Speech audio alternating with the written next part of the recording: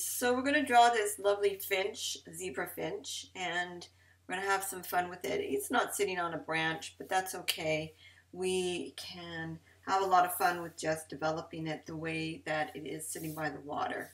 So the first thing that we want to do is we're going to look at the way that the posture is working. And I would say that it's just slightly um, bent down. So I'll start off with just a center line and um, I'm going to put in a line for where the head is, but this might be adjusted a little bit later. Then what I want to do is I'm um, just going to find the front of the of the circle, uh, the oval of the body. So I'll just go ahead and put that in. And I'll make it relatively plump, but I can adjust again. So now that I've done that, I've kind of, I've got this front part in here. I know that the head is going to be coming out this way. And I want to go ahead and put the, the head in and I'm going to sit it just about right in here. Um, maybe back a little bit a little bit smaller, right about like that. Um, so we have this area in the front comes down um, and over on this side. So this being the, the front of the head, I want to go ahead and just find the center mark on that. And again, a center mark on that. And I'm just paying attention. The uh, This bird has a very large beak, so I'd like to be able to just get that in uh, correctly and if I take a look at the, the placement of the beak, I put it in around the, the middle in here, and it's about, that beak is really big on that bird. It goes up to almost the very, very top of the head in here. So just kind of looking at that, um, we want to pull that line up and this over and just right down in here. Just going to sharpen my pencil. And I'm working with a Faber-Castell 4B. Nice and soft.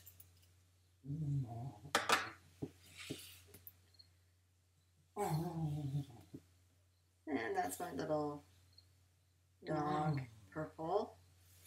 She's having a conversation with herself.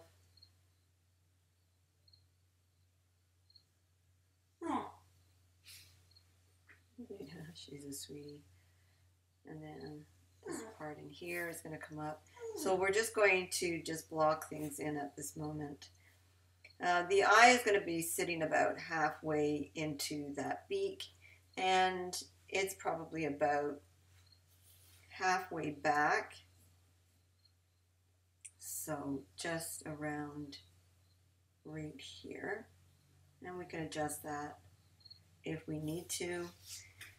And next thing I want to do is based on this, the, the way that the posture line works, and I'm going to take a look at the back part over in here and pull that up, the feathers coming from this angle and down, and the back part of the, the bird is looking like this and then comes up like that.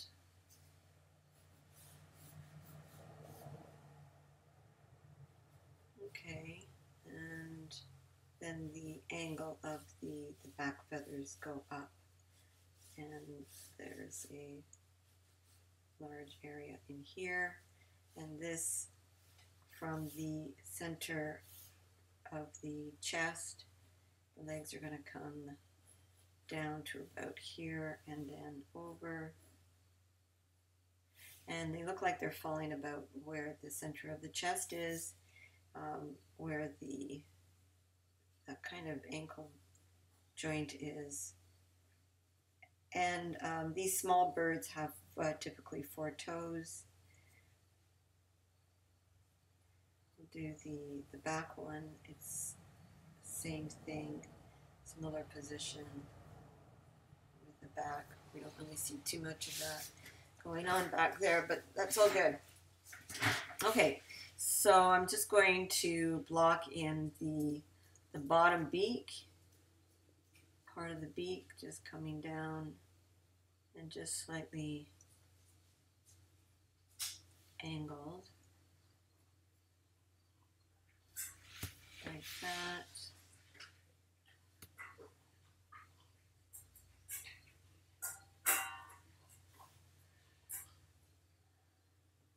So really narrow or short and then a big scoop on the back in here. And then this comes in the front of the beak. Really nice in the front and here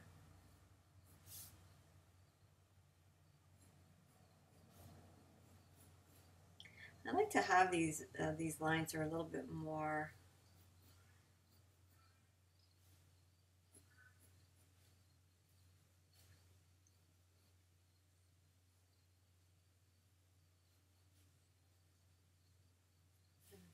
and then up and there's a bunch of bottom feathers in here. This comes up here and then there's a group of tail feathers that come up.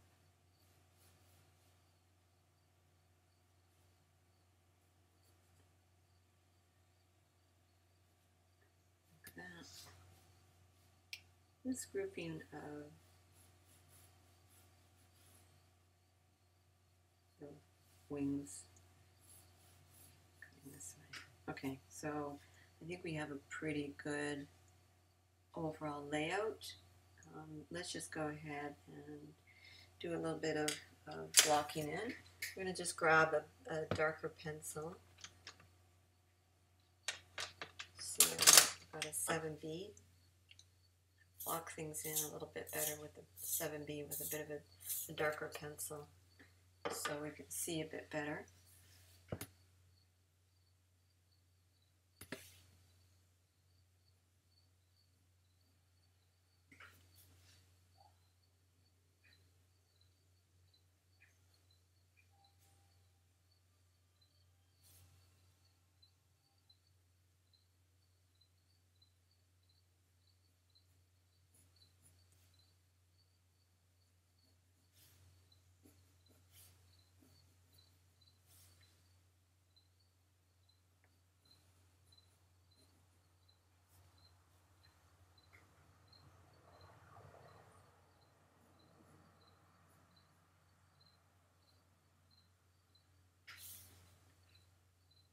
So interesting scales that are happening along the, the feet.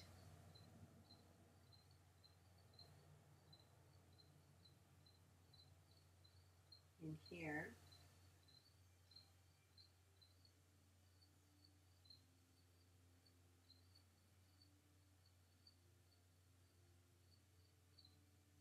Just putting those little scales in. It's more of a a hint of the, the scales and then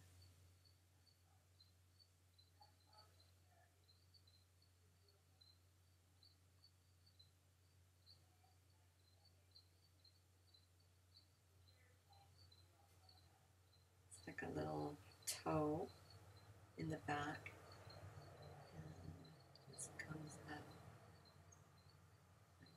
like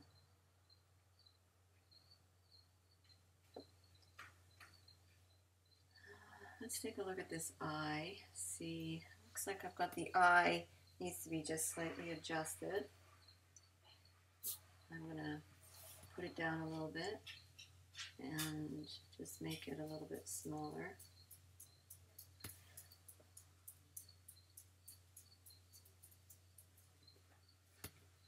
Oops.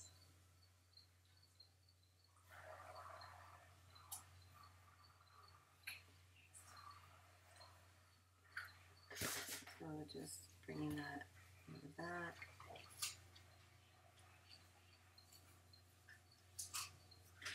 Like this.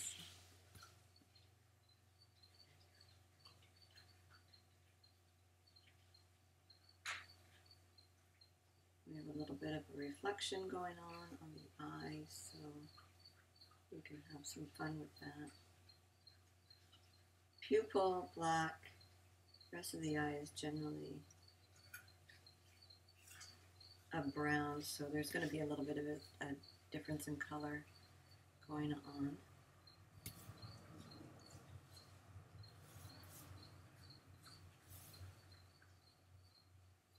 Locking in.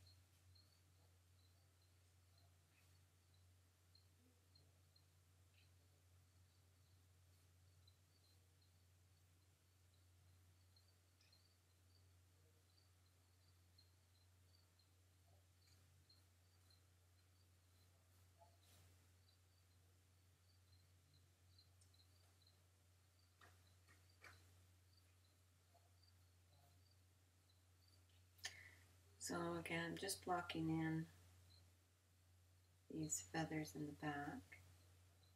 And there's ones that go on the top and here.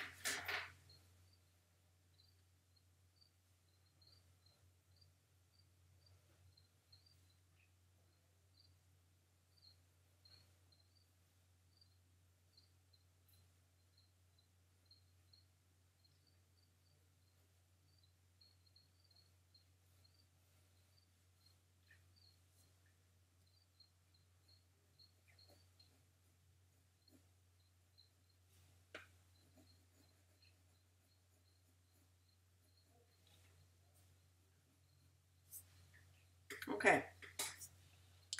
So let's just eliminate some of these sketch lines.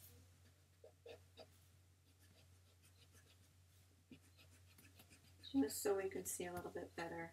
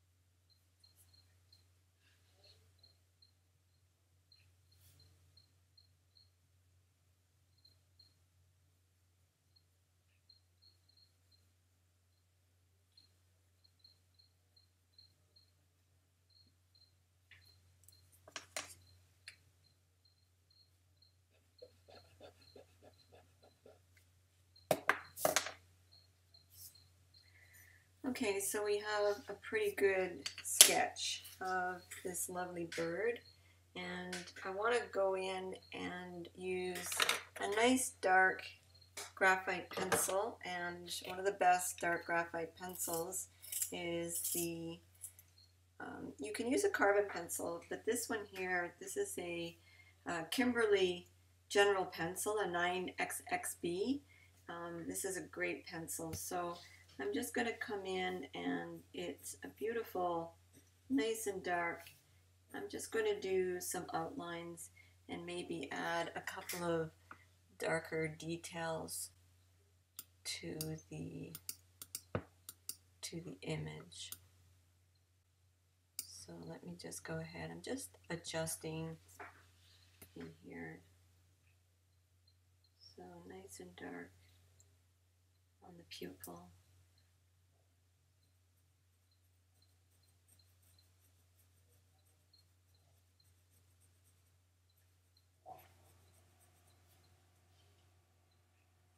Bit of detailing around the, the beak and here, little feathers, the nostril.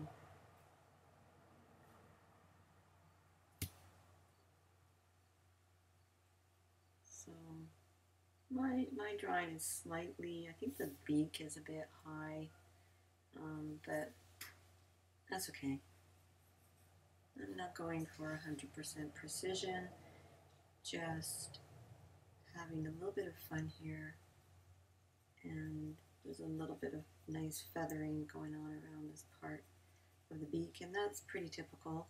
You'll see this feathering, and then of course it's a zebra finch, so it's got these little stripes, and so I'll just put some of those in just to indicate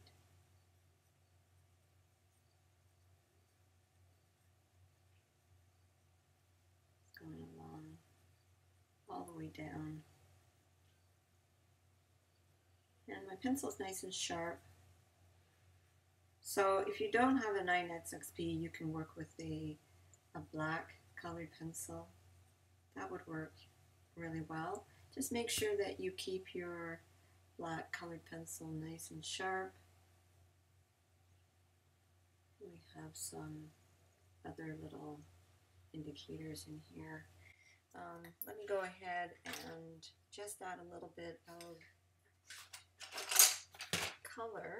So I'm going to add some mid-range orange to that beak. And I'm going to do this fairly quick. I'm not going to be too detaily about it. So I, I am working with some graphite, so, and a mid-range orange, so I'll put that on top.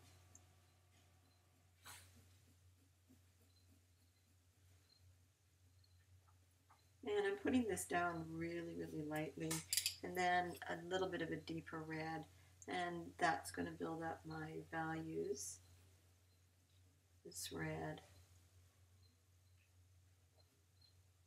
So just along the edging in here, adding some darker value.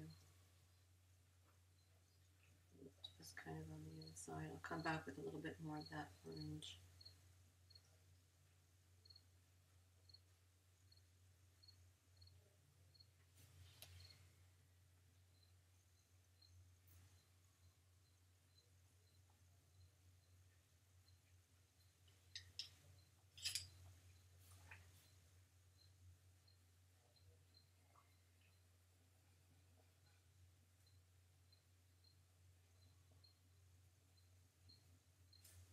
And let's just pop in some more of that lighter orange. Blend that in a little bit. Beautiful. Okay, so I'm just going to come to the back part of the the finch and just add a little bit of this orange.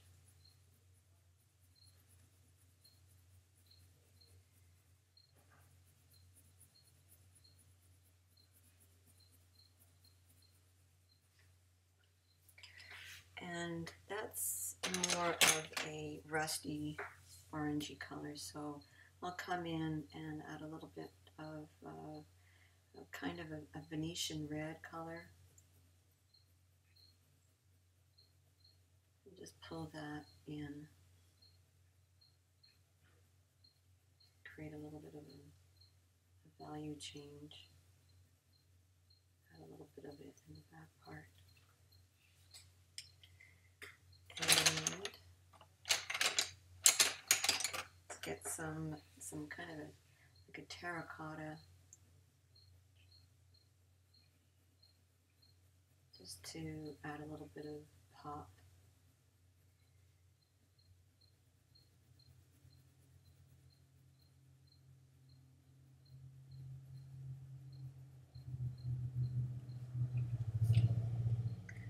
Put some yellow on top of that, right up in this area in here. Mix that all up together and just add some really interesting visual. I'm going to add a little bit of this Venetian red into the eye in here.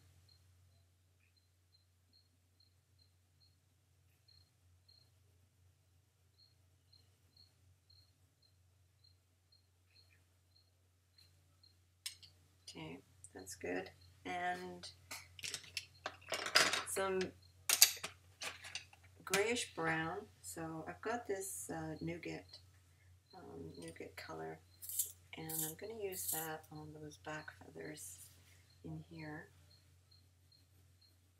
And just lay that down really kind of open, not too controlled.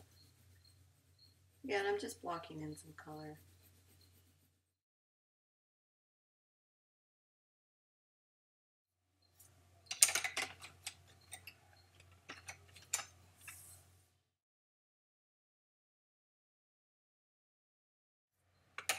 Add a little bit more of a darker gray.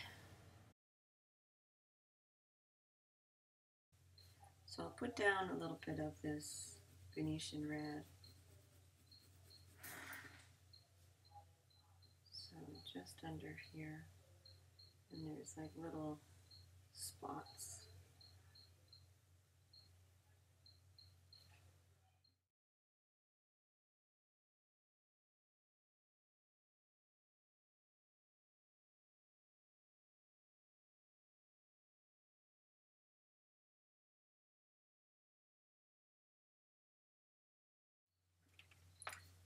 We're going to continue to work on adding some more of the value ranges. So what I'm doing is that I'm building a line up underneath the, the feather and then I'm just pulling out a value blend.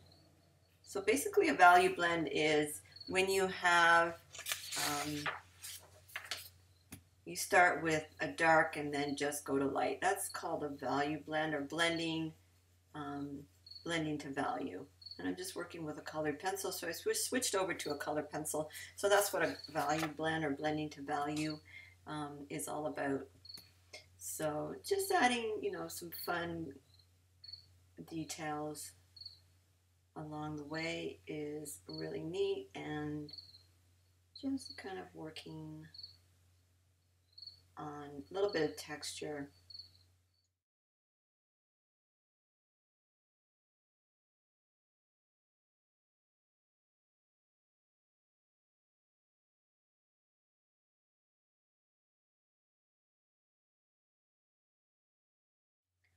So again, just a little bit of texture work. Just these little lines um, are just going to be indicators for some feathers.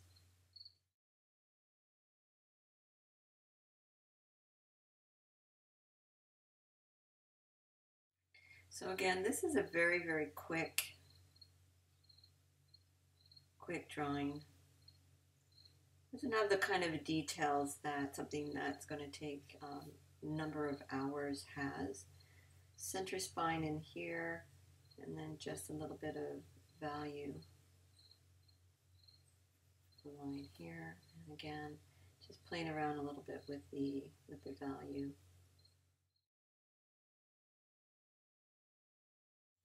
So you can see that as I work adding this value in here, to start off with a line and then pull it out, it